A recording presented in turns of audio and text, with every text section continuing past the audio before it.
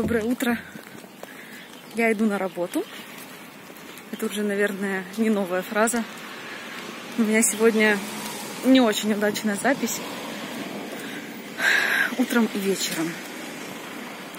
Поэтому не знаю, или я поеду домой, потусуюсь дома, что-нибудь поделаю.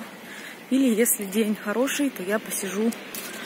Может быть, кто-то из мастеров мне перебросит клиентов. Смотрите, как красиво сзади такая летняя тень. Сейчас на самом деле плюс 17 с утра. Я иду в платье. Опять мой любимый рукав три четверти. Ну, сейчас немножко прохладно, зато потом будет хорошо. Вчера была на офигенном просто обучении у Татьяны Пономаревой по микроблейдингу. Я отрабатывала практику, как бы она мне пере, перестраивала руку по-своему, потому что так как по ее мне нравится больше. Я вчера взяла работу в коворкинге, точнее, я не отказала клиентам после обучения и пошла работать вот недалеко от дома в коворкинг. Очень классная вещь. Я сейчас вставлю видео, может, поищу фотку. Пришла поработать вечерком в коворкинг недалеко от дома. Прекрасная идея, на самом деле, сдавать по часам. Блин, сдавать по часам в аренду места. Очень удобно. Пошел ночью себе поработал. Короче, я вчера очень устала. Я проснулась утром перед курсом этим э, приготовила перцы фаршированные. Собралась. В общем, практику тоже я отрабатывала. Сложно было, потому что мне кажется, даже новеньким девочкам было проще, потому что переучиваться всегда сложнее. Я, допустим, когда делала микроблейдинг, я всегда его делала одну бровь с одной стороны, другую бровь с другой стороны. А Татьяна учит делать все с одной стороны. То есть ты сидишь, не двигаешься на стуле. И вообще мне было не с руки, я не могла сделать натяжение кожи правильное. Я как бы понимаю, как оно должно быть. Я чувствую, что все не то. Туплю, смеюсь, она тоже смеется. В итоге я потратила 4 часа на выполнение микроблейдинга. Я почему-то начала... Я очень долго очерчивала форму, мне все не нравилось. Не знаю, видимо, немножко нервная была вчера. Ну, в итоге остались все довольны. И я, поскольку побежала делать клиентов, работать, я не успела пофоткать нормально модель. Вообще, я хочу сказать, что если вы задумывались о том, где в Питере, не только в Питере, в Москве, короче, много где в других городах, вы хотели бы поучиться на бровиста, вот, просто идите в Лашенбрау. Без вопросов. То есть там дают прекрасную архитектуру, там дают то, к чему я пришла сама методами пробы и ошибок спустя годы. Они даже, типа, я придумала какую-то фишку, типа, вот, я буду делать так, вот так нужно делать правильно. Типа, это моя фишка. Потом оказывается, что это входит в базовый курс. Вот, поэтому надо идти туда.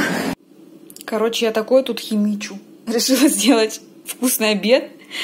Придумала. Короче, хочу запеканку, но я картошку сделаю типа тертую, но мне лень ее тереть, поэтому я попытаюсь мелко в миксере перемолотить, буду делать запеканку. Здесь у меня лук и еще будет фарш. Я его отдельно пожарю. Все это слоями буду укладывать и заливать яйцами и сметанкой или майонезом. Такое что-то. Короче, вот что у меня получилось. Это такая мелкая картошечка на блендере, миксере перемолотая. Я ее уже отжала и добавила соль чтобы стекало быстрее, стекал быстрее сок. Не знаю, насколько это правильно. но вот он еще потек. А здесь у меня куриный фарш с луком. Сейчас я его чуть-чуть поджарю отдельно и буду укладывать. Я его хочу пожарить, потому что я боюсь, что он пустит сильно много воды, и запеканка не запечется, будет такая каша вареная. Я вот это вот все не люблю такое. У меня тут просто хименный кур и яйца. Выложила плотненько картошки слой. Сейчас буду сюда вываливать фарш. Сейчас сделаю нормально, одной рукой не получается. Ну вот. Сейчас я его уложу. Фарша грамм 300. Килограмм стоил 270, наверное, рублей куриного фарша. Я взяла на 100 рублей. Вот сколько здесь грамм. Так.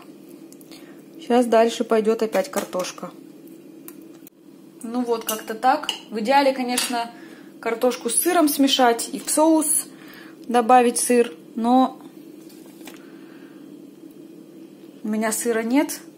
Может, потом сгоняю, куплю и доложу уже потом. Сейчас как-нибудь это все распределю. Мастер-кулинар. Ну, наверняка будет вкусно. Это какие-то как огромный драник с фаршем. Духовку я, естественно, забыла поставить греться. Вот блин. Ну, в общем, нечто такое.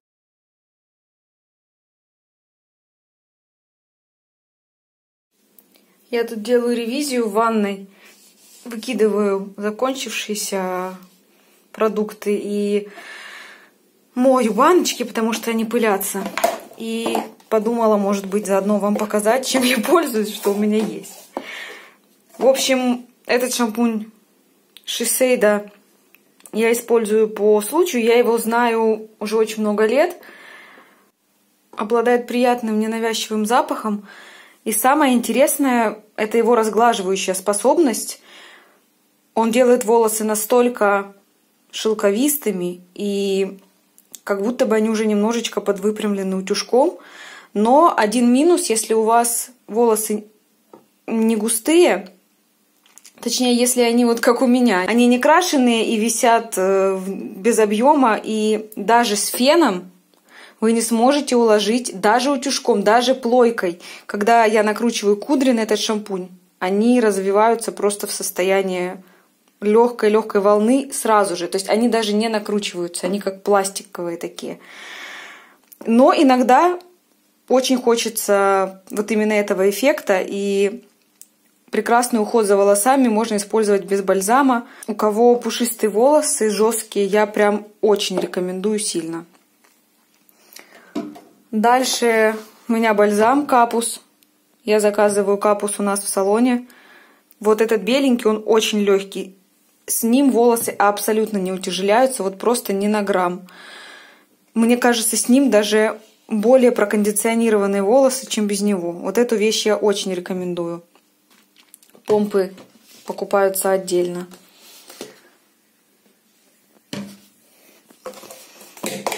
Дальше у меня стоит такой пантин на полке. Я покупала его в Египте.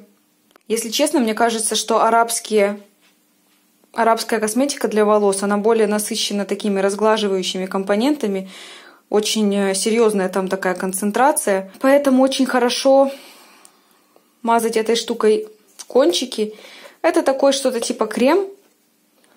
У меня муж им тоже пользуется. Очень-очень гладкий такой крем. Точнее, который придает гладкость волосам.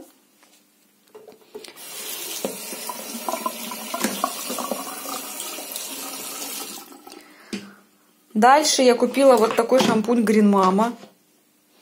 Мне он на самом деле очень нравится, хотя с ним такая же история, как с Шисейдой. Он разглаживает и плохо в общем, корень волос очень тяжело поднять.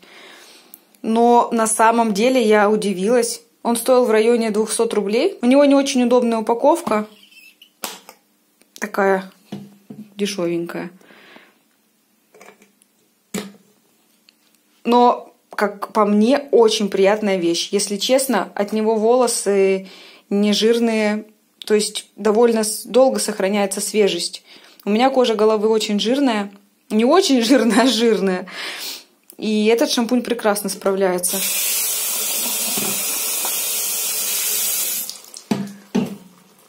Дальше ничего интересного. Гель для душа Марселье. Очень вкусно пахнет. Здесь у меня скраб. Вот это у меня не на основной не на основной полке стоит, потому что мне этот скраб вообще не понравился. Мне нравится Green Mama, но после этого остается жирная пленка. Самое неприятное это его запах. Может быть, он уже был какой-то просроченный, но запах, вы знаете, просроченной косметики, такого прогорклого масла. И это не очень приятно. Стоил он по акции в районе 250 рублей, наверное, так, наверное, все 300, я уже точно не помню. Но вот эту штуку я иногда на ноги использую. Дальше моя любимая умывалка. Это скраб и гель. Очень быстро, моментально приводит кожу в порядок и закрывает поры не только на моей коже, я проверяла на родственниках. Поры реально сужаются очень быстро. И это мой основной сейчас шампунь Капус. Вот именно этот мне не нравится. Я его тоже заказала в салоне для объема. Да, он помогает укладывать волосы, но очень быстро волосы становятся жирными. Не знаю почему, может быть там какое-то вещество типа салициловой кислоты, на которую именно моя кожа головы реагирует не очень хорошо. Так что именно этот я больше покупать не хочу. Другие шампуни капус попробую еще. Их такое великое множество, и я могу заказать себе очень много всего. Ну, здесь ничего интересного. Здесь тоник, умывалка и зубная паста. Если мы уж начали про уход говорить, сейчас у меня вот такая мицеллярная вода. Очень приятная упаковка и очень быстро очищает глаза. Реально и не особенно пекучая. У меня была до этого из аптеки, не помню какая. Вот она была вообще неприятная. По сравнению с этим, мне, короче, я не верю, первый раз пробую, мне очень нравится. Вот такие дела у меня, ребята. Ждите следующего видео. Подписывайтесь на канал. Не забывайте нажимать колокольчик, потому что, нажимая на колокольчик, вы не пропускаете новые видео.